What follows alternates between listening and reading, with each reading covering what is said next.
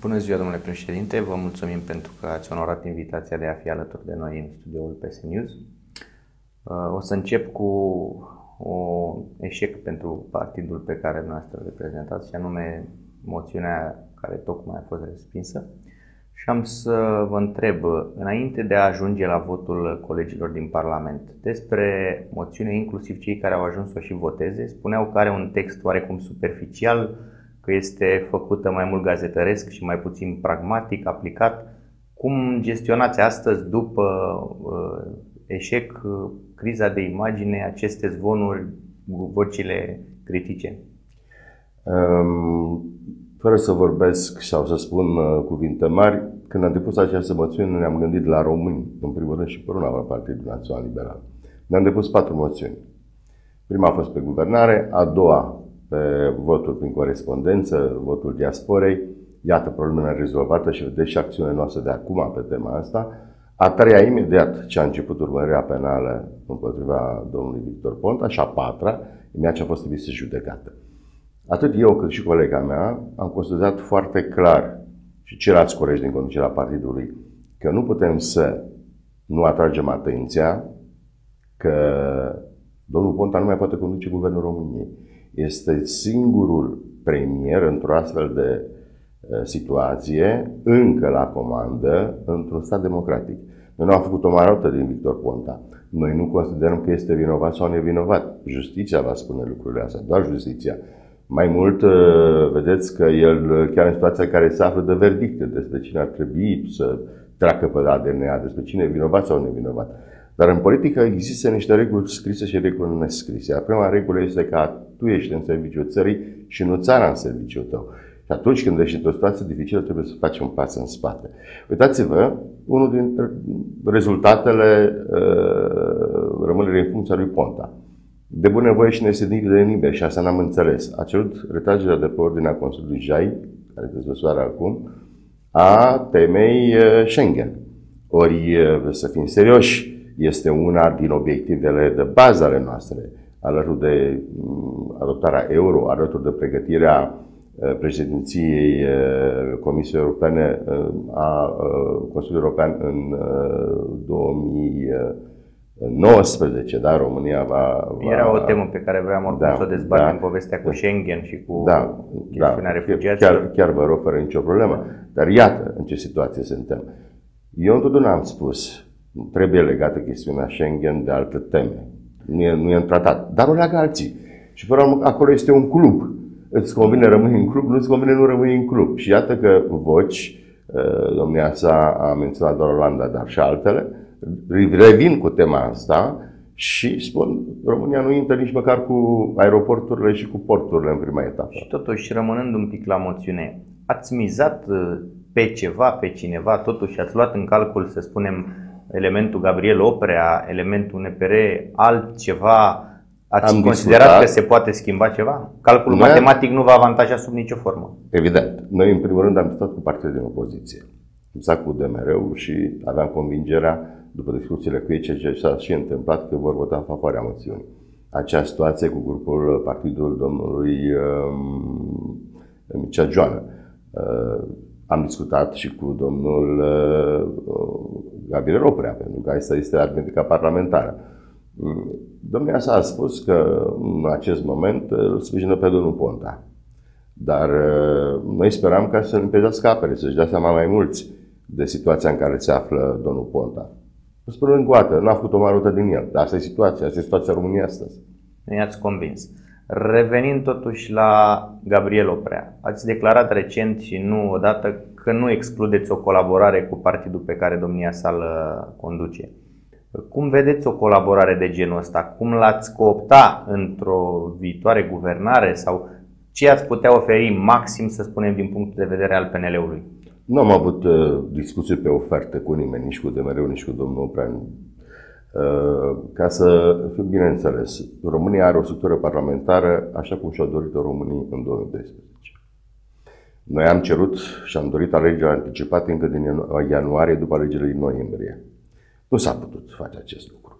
Și atunci n-ar să fim ipocriți. O majoritate parlamentară poate fi construită inclusiv prin cooptarea domnului Oprea, dacă nu putem impune un guvern minoritar, nu știu cum vor evalua lucrurile în etapa următoare.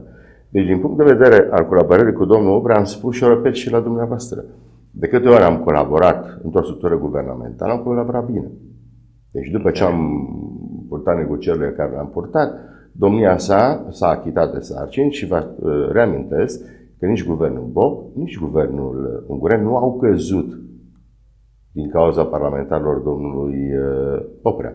Mm, la guvernul Ungureanu, când am uh, pierdut la vreo patru voturi numai, un singur parlamentar de la domnul Oprea a votat moțiunea de cenzură de atunci, introdusă de, era deja USL-ul, da? Și e vorba de un profesor din Târgu Mureș, care nu convenea poziția noastră față de linia de învățământ în linia maghiară, în limba maghiară la Universitatea de Medicine de acolo, uh, făcându-se că nu vede că uh, sunt facultăți întregi în Cluj în care se învață în limba maghiară. Da, așa sunt oamenii. Probabil avea o obligație considerat față de proprii lui alegători. Dar din acest punct de vedere, colaborarea cu domnul Oprea a fost întotdeauna foarte bună în interiorul guvernului. Dacă am face așa un joc al imaginației și să spunem că la următoarea moțiune, în sesiunea viitoare, v-ar spune sunt dispus să mă lepăd de Victor Ponta, dar mi oferiți un post de premier? L-ați vedea premier pe Gabriel Oprea? Nu. În primul rând că nu l-am auzit niciodată pe domnul Oprea dorindu-și funcția de e premier. Adevărat. În al doilea rând, Partidul Național Liberal are premierul desemnat pe domnul uh, Cătălin Predoiu. Am înțeles. Acum, dacă am vorbit de un potențial premier, haideți să vorbim și de potențial miniștri. În uh, viitor, în condițiile în care PNL ar prelua puterea.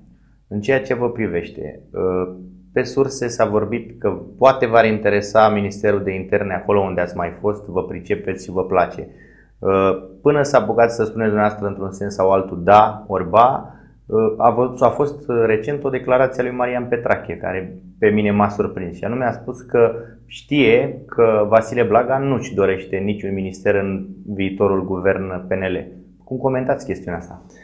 Împreună cu colega mea, cu doamna Gorghiu, am spus că treaba noastră în continuare, până la alegerile de anul viitor, este de a raforsa această construcție politică care este Mare Partid Național Liberal. Și mai avem destul de mult în teritoriu.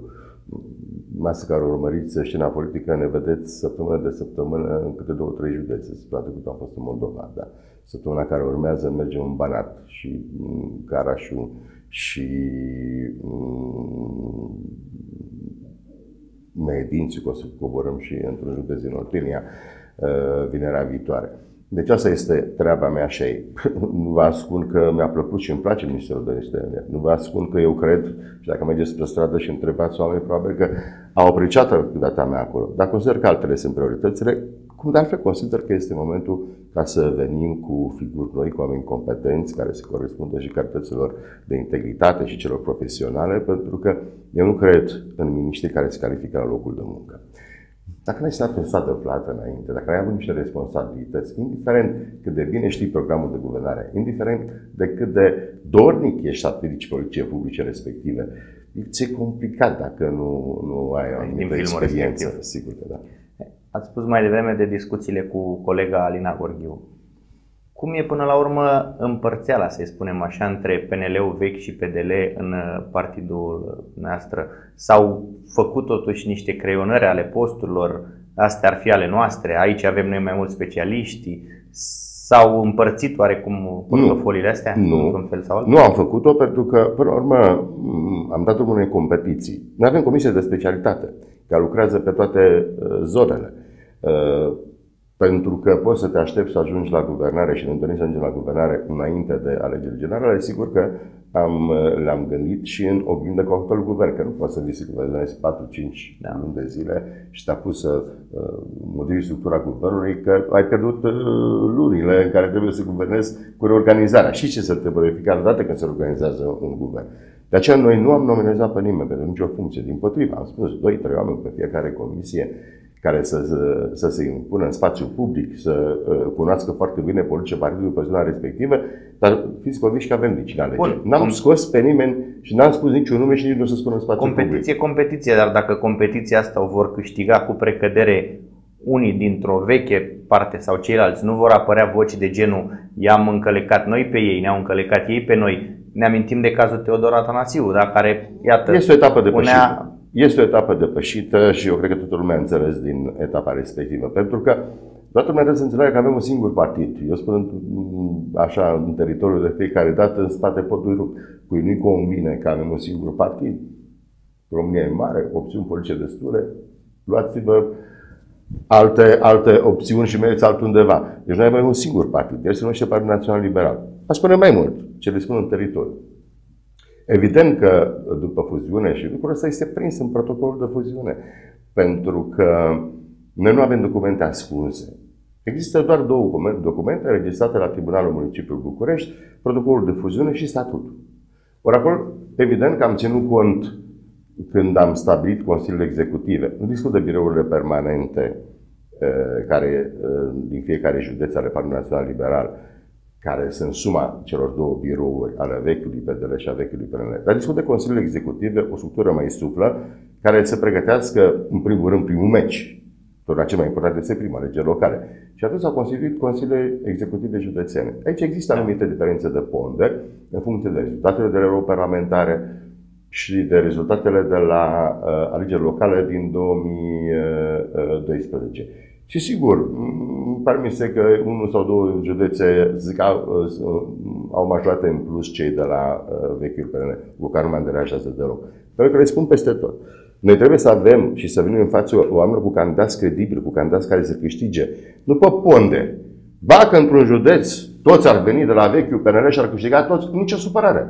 Dacă într-un județ ar venit, sigur că lucrul ăsta nu se poate întâmpla, dar ca și idee, dacă ar veni toți de la vechi, pe, vechiul PDR și toți ar câștiga, nicio problemă. Noi nu putem merge aici cu astfel de, de cu, alt, cu altfel de, de un alt punct de vedere, decât în urma unor cercetări sociologice foarte clare să vedem care este candidatul cel mai bine plasat și cu care câștigăm alegerile. Sigur, care are cel mai mare potențial. Pentru că una este să fii pe primul loc și să ai 20% și următorul să aibă 16%, dar tu să ai un grad de cunoaștere de 92%, deci nu mai ai unde crește, și altul să aibă un grad de, de cunoaștere de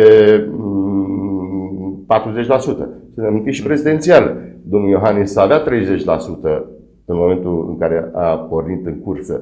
Eu auzeam de 7, 19 povești. El avea 30% în momentul în care a fost desemnat candidat al Marului Partid Național Liberal. Dar avea de unde crește, că avea un grad de cunoaștere de 50-60%. S-a dovedit că am judecat bine și am luat cea mai bună opțiune. Vă propun să rămânem tot în zona aceasta a alegerilor de la anul, în primul rând a uh, localelor. Și vreau să vă întreb, credeți că, să-i spunem, candidatul Cristian Bușoi ar avea la anul mai multe șanse să ia primăria capitalei decât a avut Vasile Blaga în 2008? Uh, cred că tot pe acolo sunt, uh, sunt șansele, numai că de data asta are un partid mai mare în spate. Dar care va trage cu el? Da. Sau uh, Întregul va partid va trage cu el, dacă el va fi desemnat candidat. Noi acum suntem în fața unor cercetări sociologice, sigur, secvențiale s-au mai făcut, să vedem care dintre candidații noștri uh, poate câștiga primăria generală a capitalei. Este și domnia sa, dar mai sunt, sunt scris și în cursă și domnul Orban și alții, se vor, poate pot să ajunge și la alte concluzii, nu știu în momentul ăsta, pentru că uh, am măsurat și măsurăm în continuare tipul de candidat pe care vrea Bucureșteanul, cine se poate plia cel mai bine pe acest, uh, pe acest uh, tip de candidat, dacă va fi domnul Boșoi cel care are cele mai mari șanse, eu ca, să zic așa, venit din partea cealaltă a partidului, sunt primul lângă dânsul. Interesant, se pare că peste tot încă mai sunteți în căutări, în cercetări, în sondaje, mai puțin la sectorul 4, unde domnul Rogin se pare că e aproape în campanie electorală. Este omniprezent, este permanent uh, și are un contracandidat greu dacă Popescu Piedone rămâne la sector. Uh, dacă el va ieși în cercetări, cu el vă perce.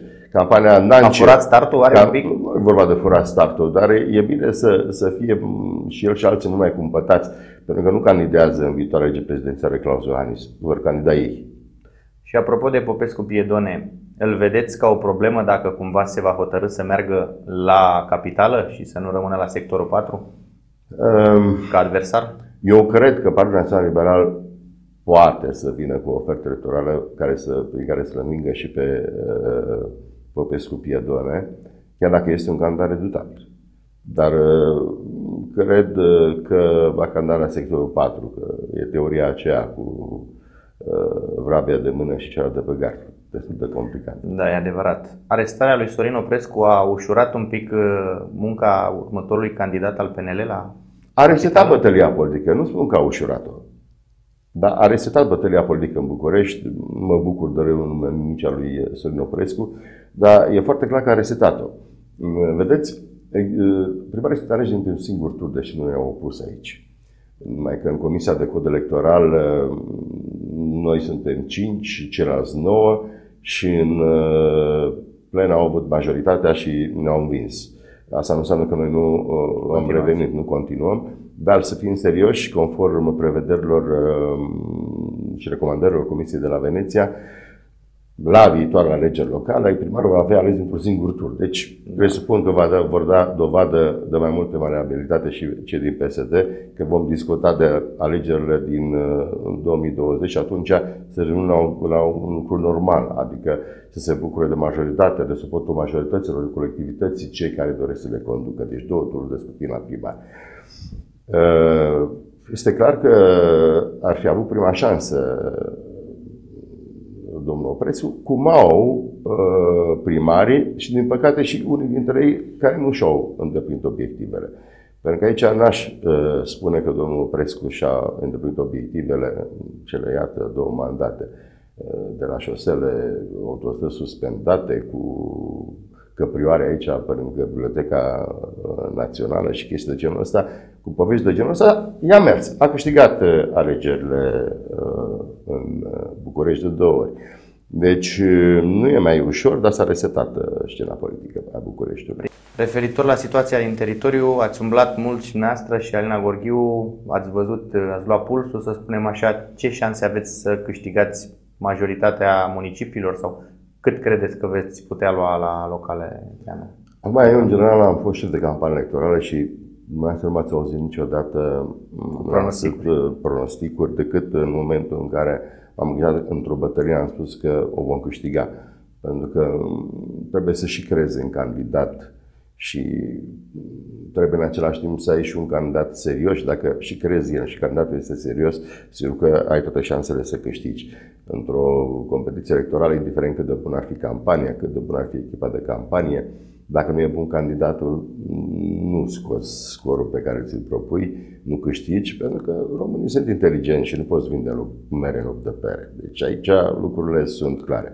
Ori tocmai de aceea mergem în teritoriul foarte mult, pentru a uh, vedea și stadiul, calendarul, care să, dacă se respecte calendarul stabilit de către Consiliul Național din uh, mai de la Pitești și, în general, județele sunt în grafic. Sunt și altele mai rămase în urmă și unde avem mai mult, mai mult de muncă.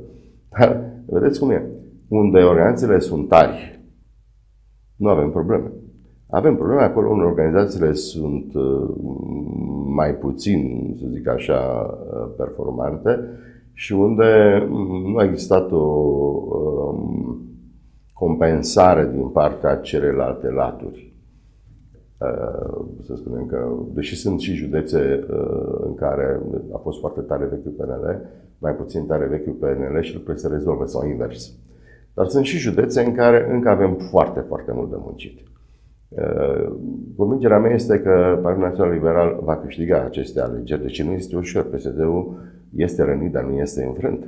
Apoi, uh, doi pornim cu 1000 de primari, ei pornesc cu 1500. Nu, după ordonanța 55 da. ne-au furat 486 uh, de primari. Pentru că noi eram peste ei ca și număr de primari. Desigur că și la noi primarii au drept de preemțiune cu condiția ca să nu aibă probleme cu legea, cu condiția ca să nu uh, existe rezerve mari a organizației, că știți cum organizația ia pulsul comunității și știe dacă X sau Y uh, are șansă să fie reales sau nu. Până la 1 decembrie, aici este calendarul, analize sociologice peste tot și vom ști candidați în toată țara. Propun să schimbăm un pic planul epic și să ne uităm peste gardul mioritic. Uh, s-a făcut oare președintele Claus Iohannis uh, de râs după declarația aceea că România nu poate, nu își permite, nu are cum să ia mai mult de un număr fix de refugiați? Iată, astăzi la puțin timp după această declarație, știm sigur că vom lua mult mai mult și perspectivele sunt la fel de sumbre? Nu s-a făcut deloc de râs. Uh, și asta nu pentru că noi este un partid care l-a susținut pe Claus Iohannis în campanie și dânsul și-a dorit în permanență, a și spus-o public, uh, o colaborare cu noi și ne dorește ca să câștigăm alegerile sau să venim la guvernare. Să reamintim cum s-au desfășurat lucrurile. Prima dată a fost uh, Consiliul din iunie, că se vorbea de 40.000 de migranți. În momentul ăla, cu cărțile pe masă, s-au stabilit uh, cote, în jur de vreo 1700 pentru România. Iar a doua oară lucrurile astea nu s-a mai respectat.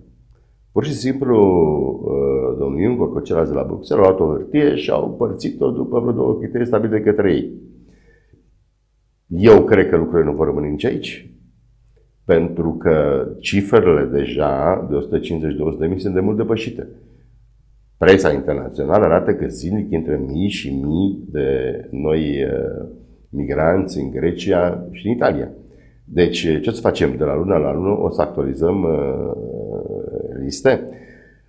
Uh, desigur, după ce decizia a fost luată, nu o mai, uh, noi va trebui să punem în aplicare.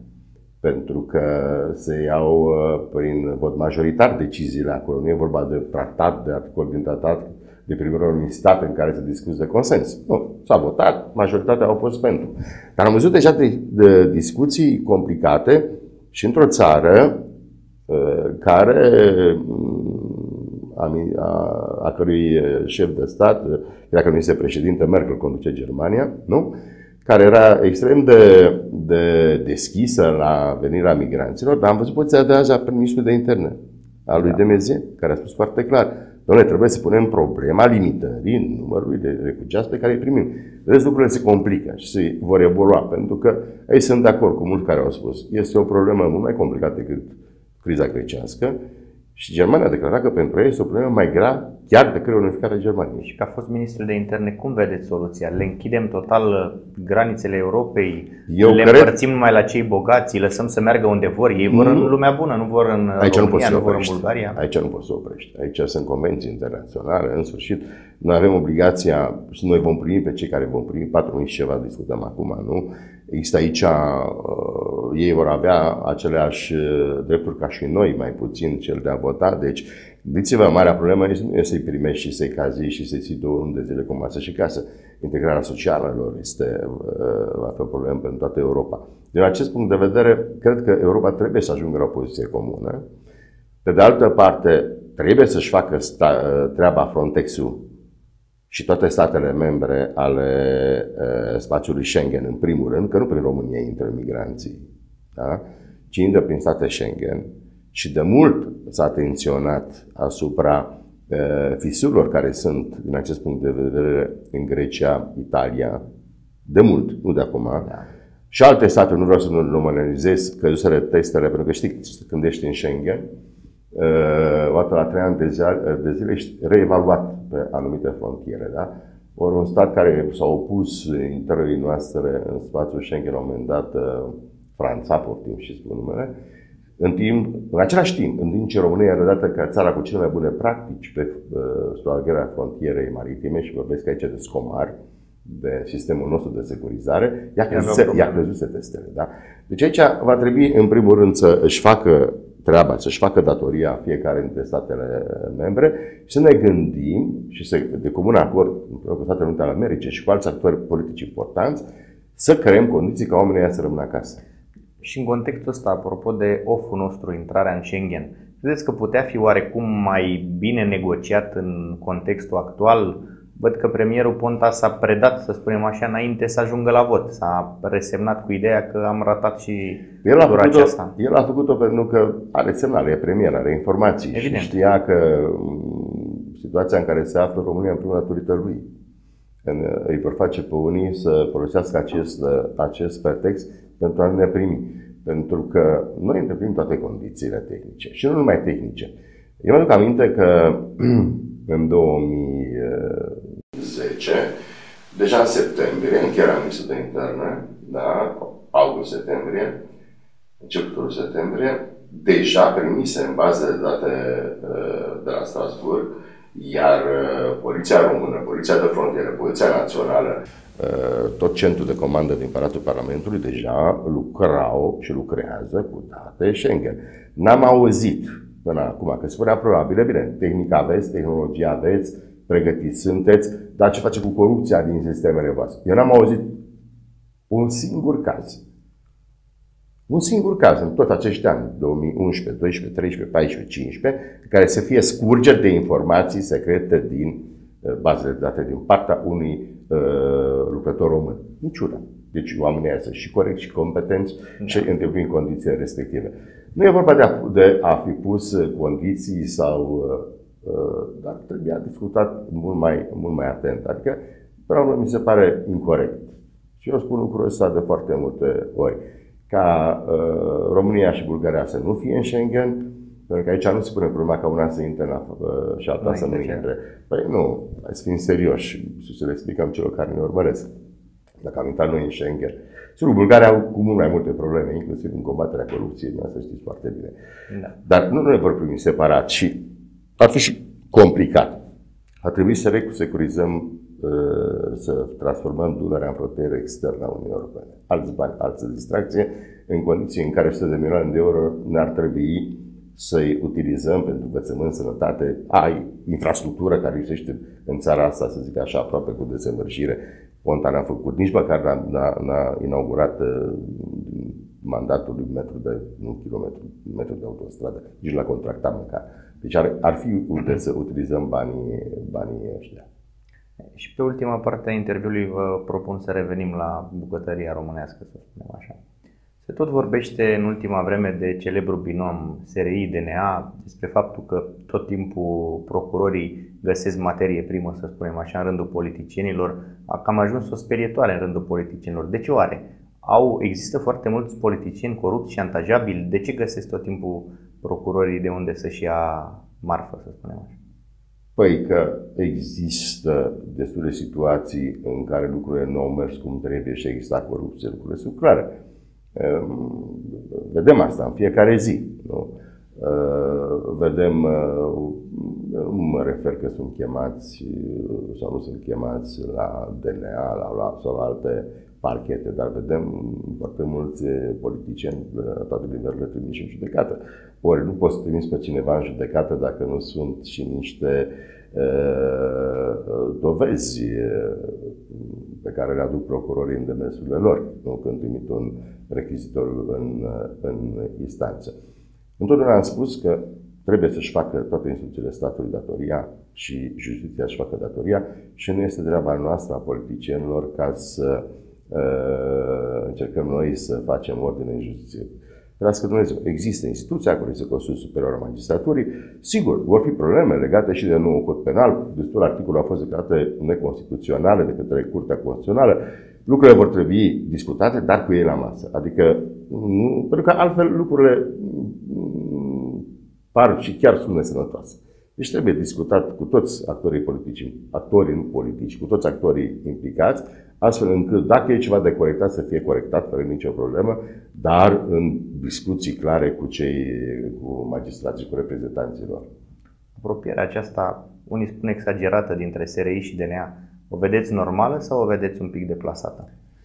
Ma, binomul ăsta a fost uh, lansat așa în spațiu public de un ziarist, nu-i spun numele, uh, eu am uh, urmărit cu atenție declarațiile atât ale doamnei Căveși cât și a celor de la serii Normal că instituții. Și eu am făcut parte din, din CSAT atâția ani de zile. Sigur că sunt uh, colaborări între instituțiile statului care au astfel de uh, obligații, nu? Ele sunt clar prevăzute de lege și eu nu cred că se încalcă limitele legii. Înțeleg. Victor Ponta spunea public la tribuna Parlamentului înainte de votul moțiunii pe mine m-au scos din politică, mâine s-ar putea să urmați dumneavoastră uitându-se către opoziție. Dar ce credeți că se referea? Tot la povestea aceasta cu binomul? Tot la justiție? El acolo, în timpul prezentării răspunsului, primului răspuns al primului ministru la moțiune, noi organizasem un meeting și ținem cont și de vreme și de transportul din București, chiar dacă și jandarmii au spus că au peste 9000 de oameni, au mai venit pe rând, în sfârșit, domnul Ponta i-a fi spus cineva că sunt câteva zeci de oameni uh, afară și spunea, nici domnul Blaga n-a mai fost ce a fost. Eu am răspuns, elegant, domnul Ponta, ce am fost? Am încercat să-ți demonstrez în noiembrie, când practic a ieșit din politica înaltă, ce o să fie, o să vedem la, în anul electoral 2016, când o să pierdeți alegerile. Și datorită modului în care vă administrați dumneavoastră. De aici răspunsul respectiv al uh, domnului Porta. Da, înțeleg. O parte a presei a sugerat zilele acestea că uh, copreședintele noastră, Alina Gorghiu, ar avea oarește probleme penale, care exista niște dosare în lucru. Ați avut vreo discuție cu dânsa pe tema asta? Știți ceva în sensul ăsta? De fiecare dată când uh, în presa, știți cum e, primul rând, presa mai ales dacă e atașată de un anumit partid politic, lovește la vârf, nu? Că vorba aceea. Partidul este condus uh, de doamna Gorghiu și de către mine.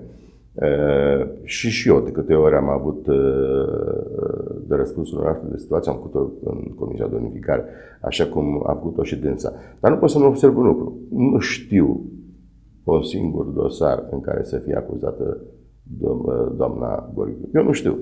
Și cine face cu el este domnul Ponta care e trimis în, în judecată. În ceea ce vă privește, cred că ați fost dintre primii, să spunem, denunțători publici ai uh, dosarului ADS.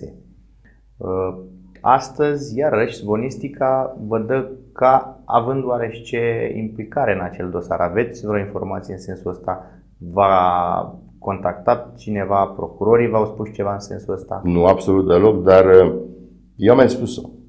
Eu am doar implicări pozitive și serios pozitive în uh, acest... În EADS ați fost ia, primul în, care a sesizat în niște chestiuni da, penale. Mie mi s-au părut, dar uh, atunci PNA, că PNA era, au spus că mm, i-au scos din suburbele penale uh, pe cei care le făcusem eu și Ministerul o plângere, pentru că mi s-a părut, și eu cred că așa a fost, absurd ca un studiu de fezabilitate pe o lucrare de o asemenea amploare, dar nu discutăm numai despre ADS, pentru că nu mai se limitează aici când discută securizarea frontierelor. Că nu s-a făcut numai cu uh, ADS-ul și numai cu fonduri de la bugetul de stat. Pentru că ADS înseamnă fonduri de la bugetul de stat.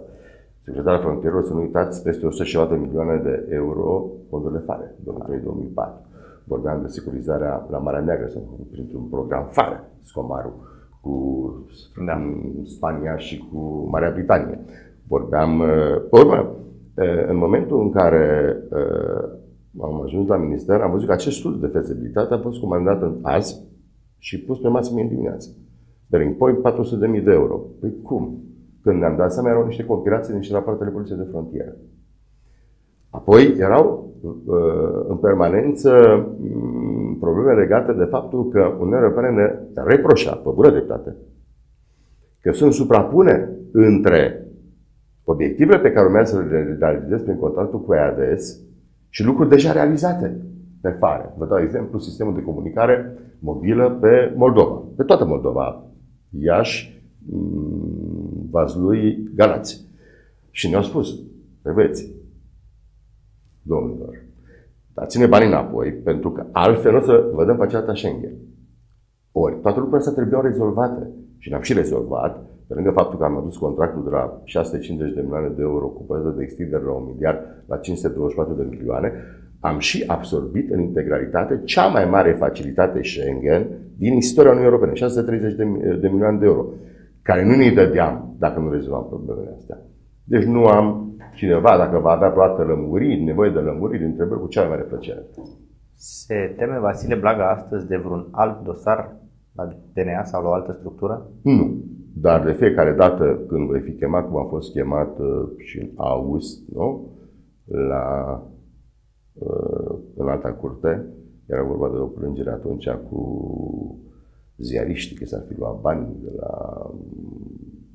atunci când au fost eliberați din Irak uh, ziariștii, lucrurile s-au lămurit pe loc și voi merge de fiecare dată dacă vă considera procurori. Părere aveți însă de două particularități ale multor anchete din vremea noastră, și anume una această amploare pe care au luat-o denunțătorii și doi, faptul că se merge foarte, foarte mult în trecut. Vorbim de dosare astăzi, ale căror fapte au fost comise în 2007, 2008, poate și mai bine. Trebuia poate luat un moment zero? Uh, cred că lucrurile ar fi trebuit mult mai bine gândite în codul penal. Ei nu fac altceva procurori decât să aplice noul cod penal. Ori aici, uh, vedeți dumneavoastră, dacă denunțătorul ăla, să spunem că lucrurile sunt așa cum spune denunțătorul. Deși de foarte multe ori vedeți că nu sunt așa, motiv pentru care de multe ori se întreabă foarte mult de ce unii au denunțat și iată, ăla nu-i chema pe nu știu unde. Presupunem că unul a primit o lucrare de 100 de milioane de euro. Jumătate a fost profit. Am ieșit la denunțat pe cel care a dat-o că a împărțit banii cu el.